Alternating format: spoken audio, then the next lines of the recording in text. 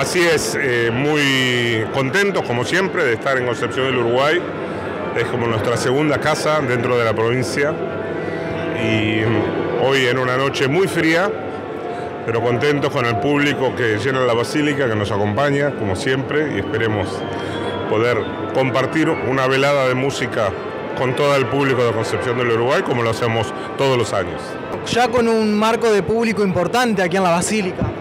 Así es, un marco de público importante. La Sinfónica tiene aquí en Concepción del Uruguay un público que la sigue desde hace muchos años.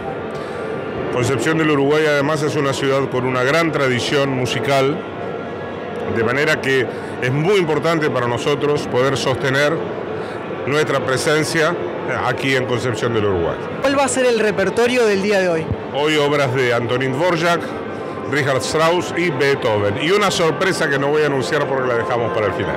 ¿Los músicos ya están preparados, listos? Sí, por supuesto que sí. Estamos ya templando para poder empezar enseguida. Cuéntenos brevemente cómo está conformada la orquesta. La orquesta es un organismo de 84 músicos con instrumentos de, de cuerda, de viento y de metal.